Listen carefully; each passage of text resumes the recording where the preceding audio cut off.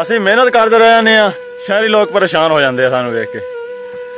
ਲਾਲਾ, ਮਿਹਨਤ ਕਰਕੇ ਖਾਣੀ ਚਾਹੀਦੀ ਹੈ। ਮਿਹਨਤ ਕਰੀ ਜਾਂਦੇ ਆ ਤੇ ਖਾਈ ਜਾਂਦੇ ਆ ਸ਼ੁਕਰ ਅੱਲਾਹ ਪਾਕ ਦਾ। ਮਿਹਨਤ ਕਿਹੜੀ?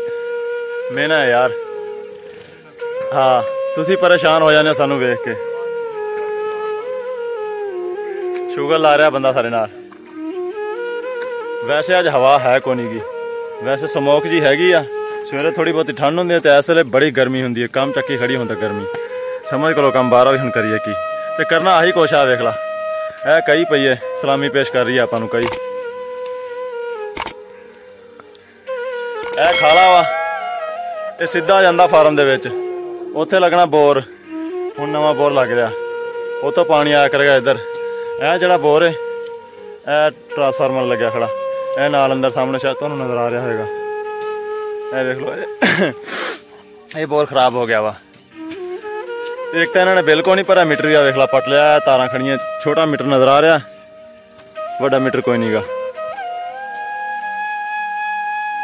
ਅਸੀਂ ਹੁਣ ਕੰਮ ਕਰ ਲਿਆ ਤਾਂ ਸਾਡੀ ਵੀਡੀਓ ਵੇਖੋ। ਇਹ ਹੁਣ ਸਾਰਾ ਬੰਨਾ ਉਹ ਥੋੜੀ ਜਿਹੀ ਛਾਂਡਣਾ। ਇਹ ਸਾਰਾ ਛਾਣਨ ਵਾਲਾ ਰਹਿੰਦਾ ਸੀ, ਬੰਨਾ ਛਾਂਡ ਲਈਏ। ਤੇ ਤੁਸੀਂ ਸਾਰੀ ਵੀਡੀਓ ਦੇਖੀ ਰੱਖੋ। ਅਸੀਂ ਬੰਨਾ ਛਾਂਡ ਲਈਏ।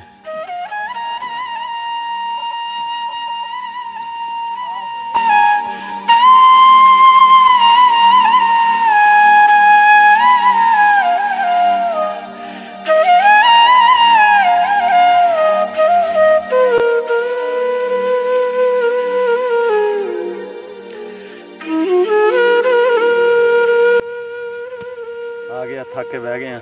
ਪਸੀਨੋ ਪਸੀਨੀ। ਪਸੀਨਾ ਵੀ ਕੰਮ ਚੱਕੀ ਖੜਾ। ਗਰਮੀ ਵੀ ਹੱਦ ਮਕਾਈ ਖੜੀ ਆ। ਮਿਹਨਤੀ ਲੋਕ ਆ ਫਿਰ ਮਿਹਨਤ ਤਾਂ ਕਰਨੀ ਪੈਂਦੀ ਆ।